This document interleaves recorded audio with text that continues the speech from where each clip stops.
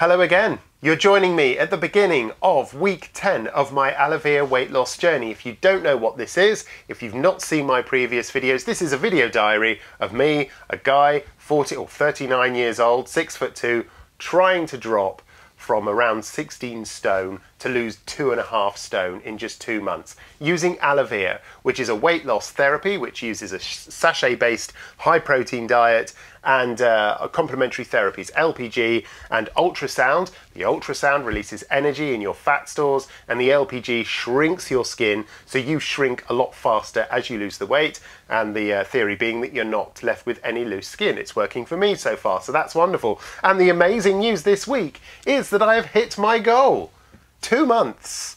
I know I think they said eight weeks at one point, but it's been two months. I started on the 12th of September, 12th of November. I weighed myself on the Saturday just so I had an exact comparison, and I have lost in that period of time two stone, 7.5 pounds. I now weigh 13 stone, 1.9 pounds. I am just less than six pounds off of the peak weight for my height and age. So I am absolutely delighted. It's awesome. And that's why today I can also announce that I'm going on to stage three. I mentioned this last week this is all very, very new. Stage three basically means the sachets, yes, I'm going to have some of them, and I'm still going to continue to lose a little bit of weight. So who knows, I might be just a few pounds within that ultimate golden goal one of these, uh, one of these days soon. But I'm very keen to start this because I know there are several stages beyond stage three still to come. I, I spoke to, uh, to the girl who was doing my treatment today and she said, well, yeah, You've got this for at least a week, and then you've got another four stages. So I'm five weeks away from finishing. But of course, once you hit the stabilization stages, they say you don't have to have the uh, complementary therapies anymore. So the price drops through the floor. You know, it's going to become a lot, lot cheaper. Um, so I'll talk to you about that in a minute, but first of all, my stats in the last seven days. This gives you an idea, even eight, eight, nine weeks into the diet, you can still expect this kind of weight loss, these kind of results. I've lost three pounds in the last week. Very different to the half a stone I lost in week one all those uh, months ago or two months ago. Um, but because I'm smaller, the results on the tape measure, as I said last week, are awesome. So I've lost two centimetres off my tummy in seven days, three centimetres off my chest, and two centimetres from my bum. The weight loss isn't huge, but I am shrinking more so than ever, more than any of my other previous results. So absolutely delighted. Right, let's talk about stage three. So what is stage three? For a start, yes, you are still eating some sachets. You are eating a snack sachet in the morning, you are eating a sachet at lunch, and a sachet in the afternoon, but then you have a normal dinner. Personally, I skip the morning snack and I have an evening snack. That works for me. Probably doesn't help with my metabolism, but I checked it with them and they said as long as you're not going over you know your allowance for the day and as long as you're eating between 2 and 4 hours from the last time then you're fine. Stick with it. So my breakfast now could be 30 grams of sugar-free muesli. It could be a Weetabix, one and a half Weetabixes. I love Weetabix. It could be 30 grams of Special K or bran flakes. It could be 30 grams of porridge oats or 200 grams of strawberries or raspberries. Um, and all of the above can be served with a choice of dairy products. And the dairy product choice is 150 ml of skimmed milk, dairy, back in my diet at last. I could have 150 mils of almond milk, which I think I'm probably going to go with because almond milk sounds a lot better. I'm not a fan of skim milk. It's like white water. No flavour, I, I just don't see the point of it, to be honest. Um, or you can have 100 grams of 0% fat-free Greek yogurt. Now I'm looking at that, wondering whether you can play with it and have 15 grams of muesli and 100 grams of strawberries, and then the fat-free Greek yogurt. I mean, that that's making me salivate. The idea that I could have that for breakfast instead of another cheese omelette, which is what I have every morning.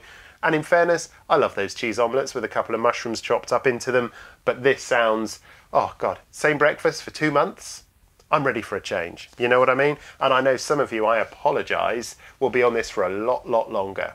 Um, but yes, I guess when you've got in your back of your mind and you see your target approach, you start to look forward to, the, to a bit of variety. Oh my goodness. Or if I don't want those selections, I can have one slice of brown, white, or granary bread. I could have two slices of lean ham. Um, I'm allowed low fat spread uh, with a serving of Marmite. Wow, this is amazing. Let me just get this right. So I can have granary toast with low fat spread and Marmite for my breakfast. That's, that's pretty impressive. Although I have to say that probably wouldn't fill me up as much as the omelette. Anyway, that's breakfast, which sounds amazing. Mid-morning snack, or as I choose to have an evening snack, I have a slightly later breakfast and a slightly earlier lunch. Lunch is one sachet plus uh, specified salad, fruit, vegetables from your extended choice. The choice of vegetables, here we go, I'll read them out in case you're looking forward to this stage yourself. It's bean sprouts, carrots, French beans, leeks, papaya, peach, red cabbage, ruby cane, still no idea what that is, spring greens, swede, watermelon, beetroot, cauliflower, Galia melon, uh, mange tout, parsley, pear, red onion, satsumas, spring onion bulbs, that's strange, yes, because before you were only allowed the green bits, weren't you? Tomatoes, white onions, uh, Brussels sprouts, celeriac, gooseberries, mulberries, passion fruit, plum, red peppers, savoy cabbage, starfruit, turnip, yellow peppers, water chestnuts, strawberries, shallots, red currants, raspberries, pawpaw, nectarines, grapefruit, chili peppers, and cantaloupe melon. I think most of those were allowed in your choice before. Um, unlimited vegetables, let me just have a look through whether there's anything that jumps out to me as new. No, aubergine's still missing. Aubergine was allowed in uh, phase one, in stage one, sorry. No, I can't see anything new on there. Nothing that jumps out. Um, and then for dinner, you're allowed the same dinner that you're allowed on stage two, which I've talked about previously, where you're allowed 125 grams of lean meat, 150 grams of fish, or you're allowed dairy, low fat yogurt, eggs, or quark. Still don't know what quark is really. Um, and that's along with the usual stuff the one tablespoon of olive oil every day, or as I've told you previously, is exactly 25 pumps of the uh, one cal olive oil spray, which is also allowed, and I've been doing that from the start, um, so that works. Still losing weight on that. Um, any vinegar exception of balsamic. This is all exactly the same. You're allowed black coffee. I was told to avoid having black coffee after 1 p.m. because it can affect your sleep on this diet. I've actually stuck to that. Works pretty well for me. Um, I haven't really got any more to say this week. I've hit target. You're going to see over the next few weeks, they're going to be shorter updates because on the 19th of December 2016, it's over. I'll be done. So that's it. I'll be able to go out and have a McDonald's if I want. I, I hope to God I won't do that kind of stuff anymore. I have to be very careful. But I've got four stages of stabilization to follow this, stage three. I'll take you with me. Um, hopefully you're still following along. So this hopefully will be quite interesting for you if you've just started the diet or if you're halfway through the diet, knowing what's to come at the very end. Because the worst thing you can do, and this is what every therapist I've, uh, I've, I've been with um, at the clinic has told me, there are a lot of people that hit their target, as I have, and uh, say, that's it, and pull the plug and go back to their normal life. And they said, when that happens, the weight piles back on like you wouldn't believe because your body is in a starvation state. So anything I eat now will be stored. So important. It's high protein stuff. So 12 stone, 10 pounds is the peak weight for me at my age and height. I can't think for a second. I can't even believe I'm knocking on the door of 13 stone. When I was married, I was nearly 18 stone, literally about half a pound off of 18 stone. So what's that? That's like uh, hang on, 13, 14, 15, 16, 17, nearly five stone. I've lost nearly five stone since my wedding day.